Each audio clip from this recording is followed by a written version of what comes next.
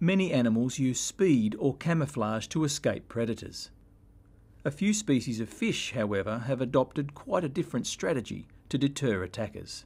At first glance, puffer and porcupine fishes look just like any other.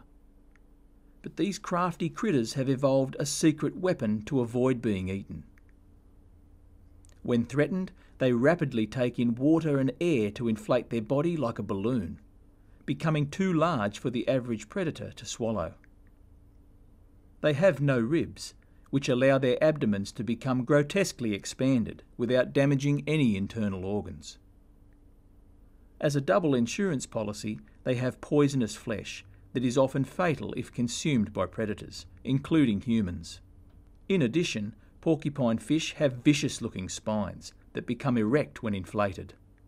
Puffers and porcupine fish have extremely powerful jaws and can feed easily on hard bodied invertebrates that inhabit coral reefs like corals, sea urchins, and sea stars,